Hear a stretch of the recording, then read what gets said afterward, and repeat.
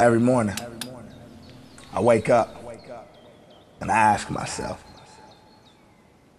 what is it that I'm gonna do today that's gonna separate me from everybody else? Heck, I ask myself, what's gonna separate me from my opponent? My mentality is I wanna wake up and not be average. I wanna wake up every morning knowing that I'm going to be better than everybody else. And see why everybody else is sleeping in, I'm waking up and I'm going. I'm not scared of what's in front of me today because I've already been through it all. I done been in the cage with some of the best. I done been in the cage with some of the worst. I done been in the cage with just everybody. But see, I'm not afraid of what's in the cage. The only thing I'm afraid of now is those that are out of the cage. And I'm not talking about the haters, I'm not talking about the doubters. I'm talking about the little kids that look up to me. I'm talking about my family that tells me that I can do it. I'm talking about all of my friends out there that bought tickets to come support me. I'm talking about Wichita. Because they're not just coming to watch me and support me just so they can have fun. They come in to watch and, and support me because they believe in me.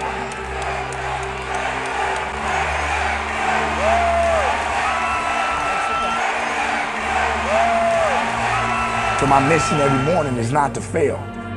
So when I start my day, I first mentally get prepared. We're ready for you. Come on in. All right, this is what I've been waiting for. Introduce me to the pod.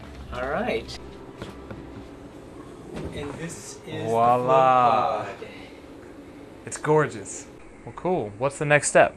Well, you're going to get undressed and take a quick shower. Uh, the thousand pounds of Epsom salt and 200 gallons of water allows you to float effortlessly. You just get into a comfortable position Okay. and try to shut down. So it's kind of like being on a cloud. Yes, it's about the, the closest thing to anti gravity on this planet. Very cool. Can't wait to try. Nice. While I'm in a float tank, I think about all those around me that have always told me, good job, good job, good job.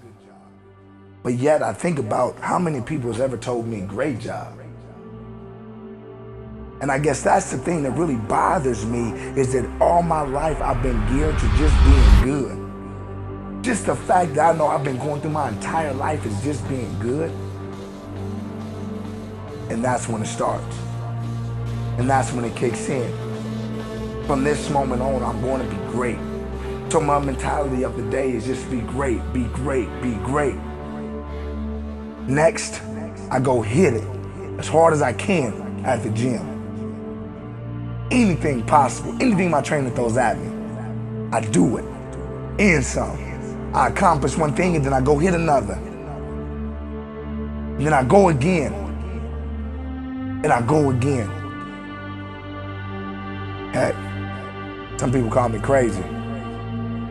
But I guess in order to be successful with this lifestyle, you gotta be somewhat crazy.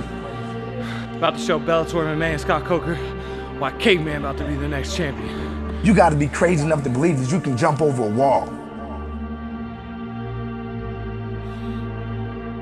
Gotta be ready to go. Ain't none of that slacking no more. Let's go. You better finish this. Ah. Let's go, K-Man. You either want it or you don't. Ah. You either want it or you ah. don't. You gotta be crazy enough to believe that you can push a truck that's steel.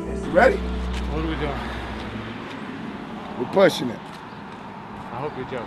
I'm dead serious. We're going right to the Hummer, baby. We're going all the way down and all the way back. All right. Let's go get it. Let's go get it. Hey, just so you know, this is not a game. This is what we do. K-Man better push this all the way down the end of the workout. hey, the car is off. It's in neutral. That way you know it's not in drive. It's off. The car is completely off.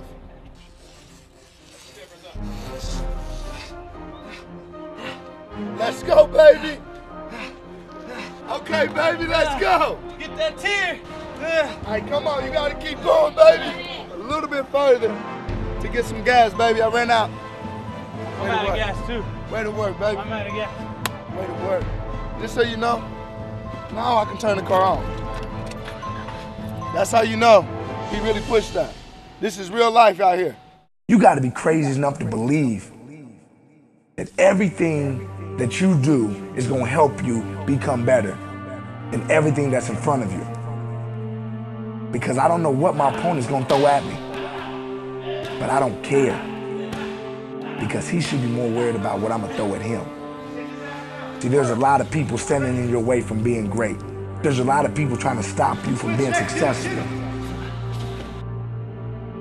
When I started on this path of MMA, I moved every second, every minute, trying to figure out how I can be better than that next man. I studied my film, I watched them, I watched them. I envision my opponent. And I tell myself, there's no way, there's no chance that he can stop me.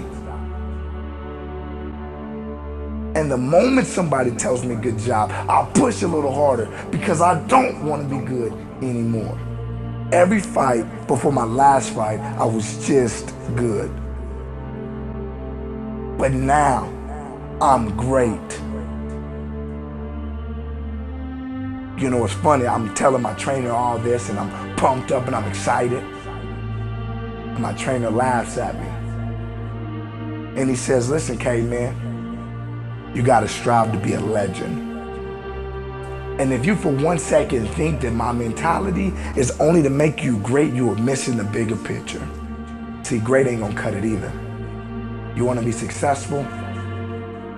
You gotta try to be a legend.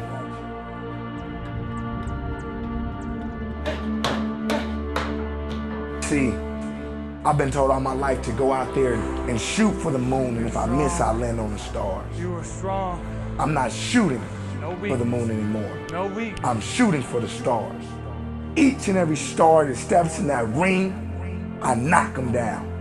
And I put them back on earth. And I let them know I'm the only one that belongs up here.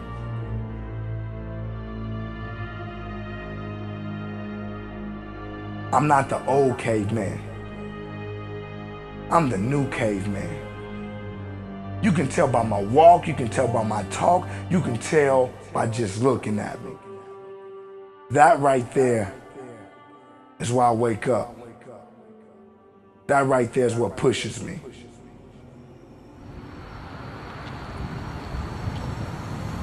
And that's the reason why I will be a legend. Caveman, Evolved. Narrated by Marquis Bradley. And I see things today. I'm alive.